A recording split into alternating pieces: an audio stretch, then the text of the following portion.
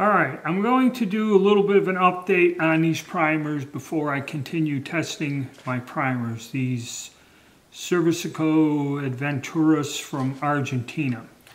When I went to test these primers, uh, I had this Taurus pistol, which had problems with light striking on the ammo. And when I used these primers, I had a 50% failure rate.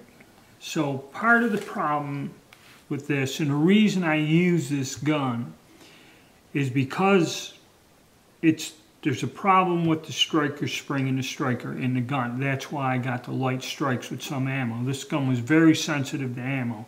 Now there are certain brands of ammo right out of the box, this gun ran 100%. And I just did a update video on the modifications I've done to this gun. So what I did is I changed the striker spring with a much, a uh, little bit more stronger spring, actually a Glock spring. It's not made for this gun.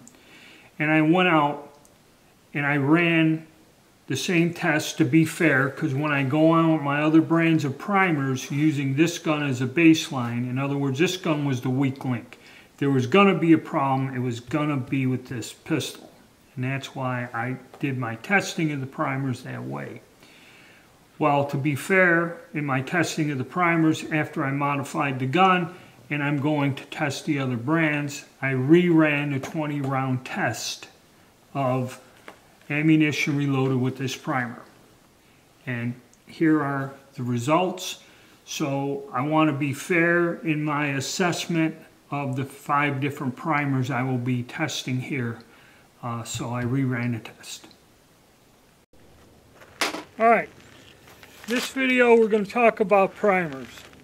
and the Argentine Servicios Argent Adventurous or whatever primers, when I tested these primers, before we, and before we go on testing the other brands, uh, I had a 50% failure rate in this Taurus G3C.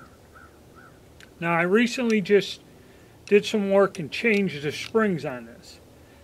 Now bear this in mind because this is probably going to askew the rest of the testing. I'm still going to use this gun as a baseline in the testing, but I've replaced the spring. And now we're going to go back and we're going to rerun the test on them primers with 20 rounds. Okay, now remember, I had a 50% failure rate. Now let's see what we get now after this changing the spring.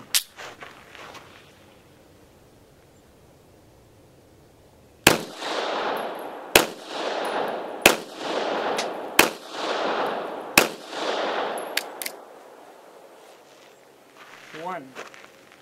We'll do a restrike just to be fair. Yep.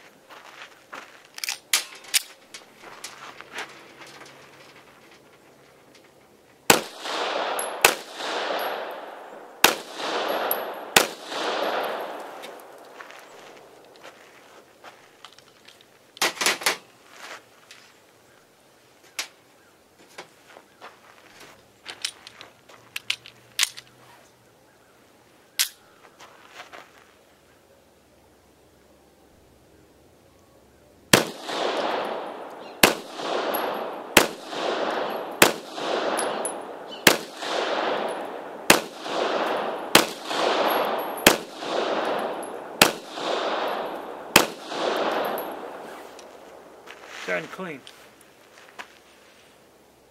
So, what was the defect in the gun?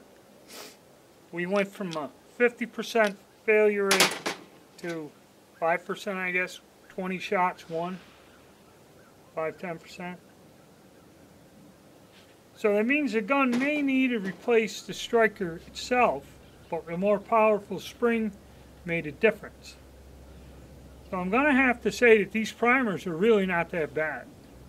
Okay, because it only had one other light strike in the Taurus GX4. So now when we go on with our primer testing, I've got the other brands out here.